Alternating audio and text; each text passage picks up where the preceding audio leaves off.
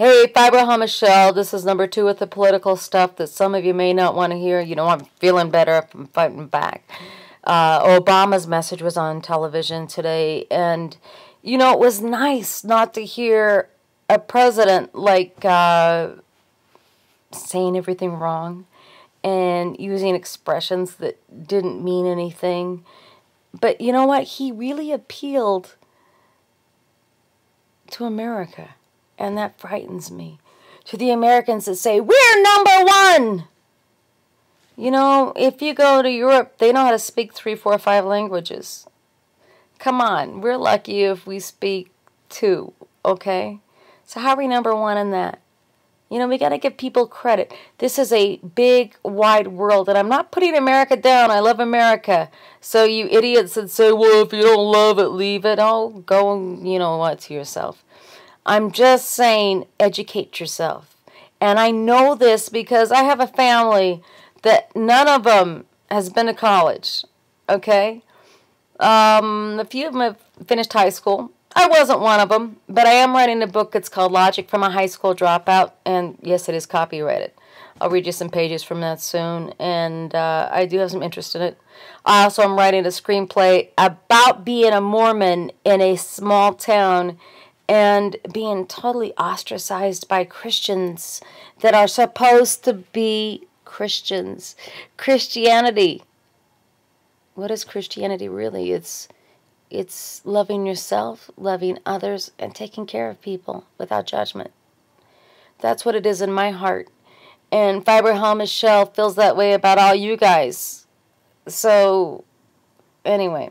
Okay, so here's the political part. People are just going against Obama. Be, you know, he's been in there 60 days, okay? Someone like my mother, okay? She, um, 20 years older than me. I'm 42, she's 62 she's held down a job uh, for the first time in her life. I think it's been about eight, nine years. And her first job, Walmart, guys.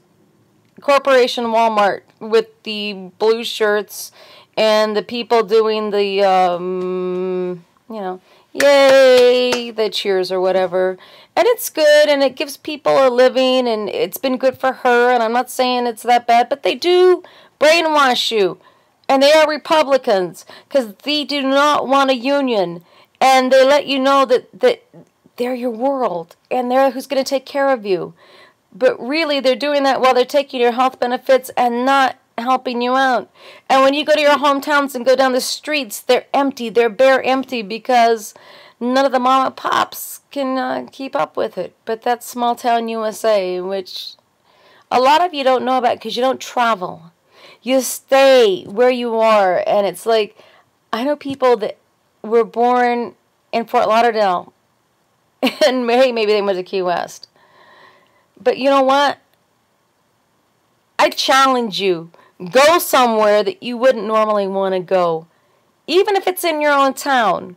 If you're a gay person, go to a straight bar, a redneck bar, and talk to these people. Show them you know, we're not so damn different from you. We're the same type. Uh, if you're gay, do the same thing. Go to a straight bar, talk to somebody, show that you're alike, but try to open people's minds. And, you know, America is number one in a lot of things, but mostly American is number one because they haven't looked into anything else. Like, you know, my mom, um, she heard on a commercial that drinking apple juice, apple juice was the thing that was going to make her better. But, you know, when we talked to her about it, well, it's got a lot of sugar apple juice. It, it wasn't strained, and it's just a regular apple juice with a lot of sugar. Which really, when she read the article, was like an apple a day is good because it's got the fiber and that type of thing. But, you know, you really, okay, here I'm going off again, but you really can't you know, listen to shit. Today I heard steaks were really good for you, and yesterday they were really bad for you. And drinking too much water is good for you, and now drinking too much water is bad for you. But you know, people, everything in moderation. Use your brain. Do not listen to everybody else. Use your brain. Logic, okay? Use your logic. From a high school dropout or from wherever we come from. My mother that works at Walmart from a small town that's never traveled except when we took her anywhere. Then she didn't talk to anybody outside her circle.